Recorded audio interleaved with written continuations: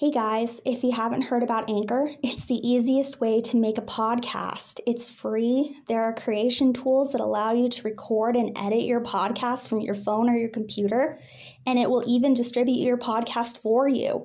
So it can be heard on Spotify, Apple Podcast, and so many more. And you can make money from your podcast with starting with your first episode.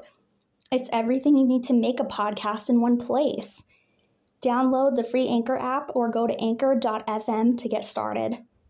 This week's case is about Marion Parker. Frances Marion Parker, also known as Marion, was born on October 11, 1915, in Los Angeles, California, to Geraldine Heisel and Perry Parker. He had a brother named Barry Jr., who was 18 years old, and a twin sister named Marjorie. On December 15, 1927, a well dressed young man came into the registrar's office of 12 year old Marion School, Mount Vernon Junior High, and introduced himself to Mary Holt and Naomi Flint as Mr. Cooper. Mr. Cooper told Mary that his boss Perry had been in an accident and was asking to see his daughter right away. Mary was confused and asked him which daughter.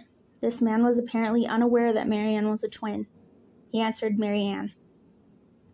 Mr. Cooper then told Mary that she could call the bank to confirm that he was an employee there. No more further questions were asked, and Marion was then pulled out of class, and both Marion and the stranger were able to leave. They got into his car, which was a coupe, and they drove away. Geraldine became extremely worried when Marjorie returned home after school without Marion. Geraldine then proceeded to call Marion's classmates and friends to ask if they knew where her daughter was, but none of them had seen her where he turned into straight up fear when Perry received a telegram from Pasadena. It read, Do positively nothing until you receive special delivery letter, and it was signed Marion Parker. A second telegram arrived shortly after, and it read, Marion secure, use good judgment, interference with my plans dangerous, and it was signed The Fox. Perry contacted Marion's school, and they told him about Mr. Cooper. After hanging up the school, he contacted the police and reported that his daughter had been kidnapped. Mary Holt was quoted during the trial as saying, quote, I never would have let Marion go, but for the apparent sincerity and disarming manner of the man, end quote. Perry and Geraldine gave the description of Marion to the police. She was four foot six and a hundred pounds. She was wearing an English dress, brown Oxford shoes, and tan stockings. Her hair was straight black and cut into a bob just above her jaw, and she looks like Marjorie. The man's description was given to the police by Mary and Naomi. He was described as a white male between the ages of 25 and 30 years old. His height is 5 foot 8 and weighing 150 pounds. He was wearing a heavy grayish brown overcoat, black shoes, and a dark hat. Both Marion and the kidnapper's description were also given to the press. As the police searched for hours for Marion and her abductor, the search had sadly turned up nothing. On December 16th, the Parkers received another ransom note demanding that they send him $15,000 in gold certificates, which is a little more than 22,000 in today's time, for Marion's safe return, and it was signed Death. The Parker family received two more letters like this, signed with different names, such as Fate and the Fox. On the night of December 16th, a letter with directions on it was sent to Perry, telling him to deliver the money at 10th Street and Gramercy Place. Sadly, the police had been watching the Parker home. They saw Perry leave and followed him to the location. The kidnapper saw the police car and fled. On December 17th, the kidnapper had sent two more letters after the police interfered with the exchange. The first read, Get this straight. Your daughter's life hangs by a thread, and I have a guillotine ready to, and able to handle this situation. The second one gave Perry instructions to wait by the telephone and was warned not to let the police interfere. At 6:35 p.m., Perry finally received the phone call and was given the location. Perry arrived at West Fifth Street and Manhattan Place at 8 p.m. and waited for the kidnapper. A Chrysler coupe pulled up next to Perry, and the driver was wearing a bandana to disguise his face and pointed a gun at Perry and said, quote, You know what I'm here for, no monkey business, end quote. Perry asked to see his daughter, and the kidnapper pointed at the passenger seat. When he looked at Marion, she was slumped over, bundled up with blankets, and her eyes were wide open. The kidnapper told Perry that she was asleep, so Perry assumed she had been chloroformed. After Perry handed the gold certificates to the kidnapper, the kidnapper then drove up 200 feet to 432 Manhattan Place and pushed Marion out into the curb and drove away.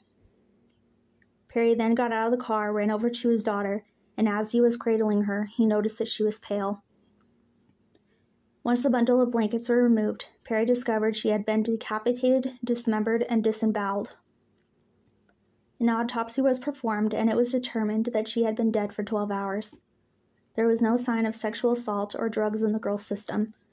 The cause of death couldn't be determined and was thought to have been asphyxiation or blood loss. The girl's limbs had been severed right at where the limbs meet the body. Her organs had been removed, and her tor- lower torso had been stuffed with towels. There was a wire that was wrapped so tightly around her head above the eyes that they left a gaping wound. Her eyes had been sewn open with piano wire to make her appear alive. On December 18th, Marion's limbs and organs had been found. They were put in bundles of newspaper and secured with twine and dumped at Elysian Park. That same day, a woman found a suitcase in the front of her lawn at 620 Manhattan Street. Inside, the killer had put blood soaked towels and the same twine that was used to sew open Marion's eyes. The unsettling detail of Marion's death was leaked to newspapers. This horrified and enraged everyone in Los Angeles. A nationwide manhunt of 20,000 people was initiated by police to find Marion's killer, and a $100,000 reward was offered for his ID and capture. Innocent people were being arrested or hurt because they were suspected by citizens of being the killer. One man was arrested seven times in one day because he matched the description of the killer. Another man was beaten by an angry mob because they thought he might have been the killer. One of the towels that had been stuffed in Marion's abdomen had a watermark, and it was finally identified by police. It was traced back to the Bolivar Arms apartment room number 315. Police then went to the apartment to investigate. A man named Donald Evans lived there in that apartment and matched the description of Marion's kidnapper. No evidence was found in the apartment, so the police left, and shortly after, Evans fled. On December 20th, the police finally got their major breakthrough. They found the abandoned getaway car. It had been reported stolen two weeks before from San Diego. The fingerprints that were found on the vehicle were taken in, and not long after, the police got their match on the fingerprints. The fingerprints belonged to 19 year old William Edward Hickman. Hickman had been a former employee with Perry Parker at First National Bank. Hickman had worked there before he was caught with $400 worth of stolen and forged checks. Hickman was arrested and then released on probation. He then moved in with family in Missouri for six months before moving back to Los Angeles.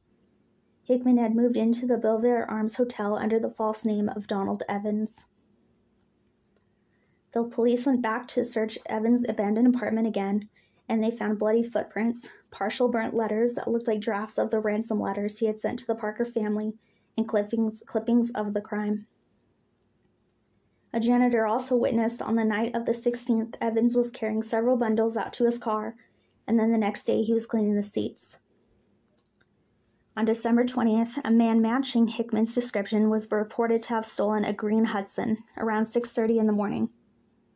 Hickman was spotted at, at a gas station in Portland by an attendant named Fred King on December 22nd. Fred King contacted the police and said that Hickman was heading in the direction of the Columbia River River Gorge. A bulletin was posted and the police were stationed on every road leading out of Portland.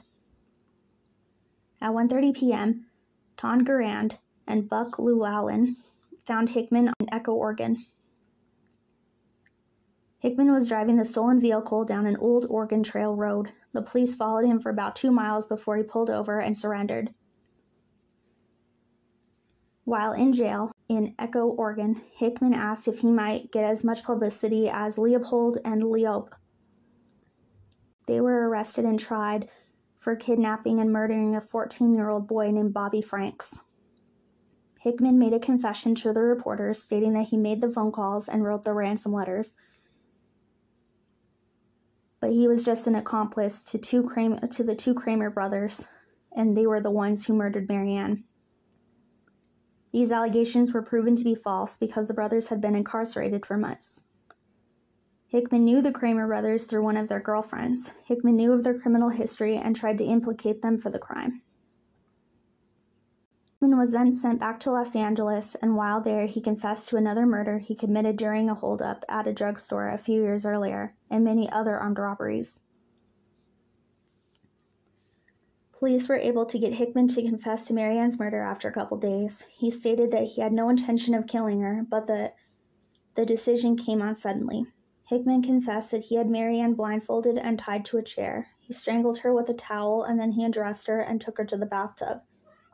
He then hung her upside down and cut a hole in her jugular vein and then dismembered and disemboweled her.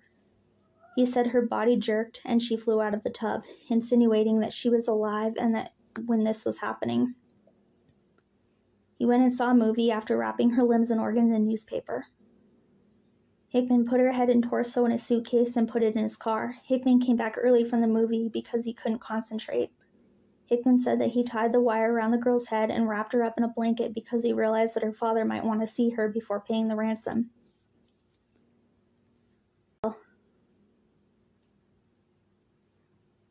In late January of 1928, William's murder trial began.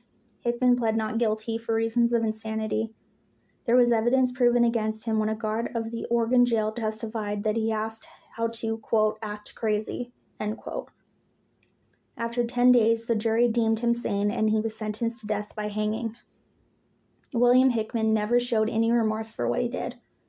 The only concern that he had was how he was going to be buried. William Hickman was sent to the gallows on October 19, 1928. While falling through the doors of the gallows, Hickman struck his head. A witness stated it took two minutes for him to die. An autopsy was performed, and it showed that William Hickman's neck didn't break during the hanging and that he had died from asphyxiation. And there you have the facts. Thank you again for a moment of your time for listening to this case. I will see you guys next time.